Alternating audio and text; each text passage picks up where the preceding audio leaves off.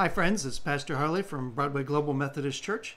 I want to share with you today from Romans chapter 15, uh, verses 1 and 2 says, We who are strong have an obligation to bear with the failings of the weak and not to please ourselves. Let each of us please his neighbor for his good, to build him up.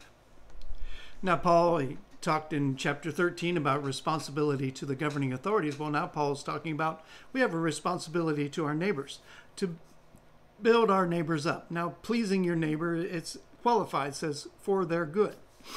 If your neighbor is excited about burning the next neighbor's house down, you don't please him by going along with that. You are to build him up. You're to look upon people not so much as a project that you're going to live for others, and as uh, James Thurber said, you can always tell the others by the hunted expression in their eyes. No, not like that. But honestly engage with your neighbors to know what is good for them it might be it might be your own just your quiet presence. It might be giving them privacy and giving them showing them all the respect they can. It also can be in ways of helping, words of wisdom, and certainly deeds of kindness and help. Uh, God has given us our neighbors. You know, we don't choose our neighbors so much. We've chosen our friends. Uh, we very much choose our enemies.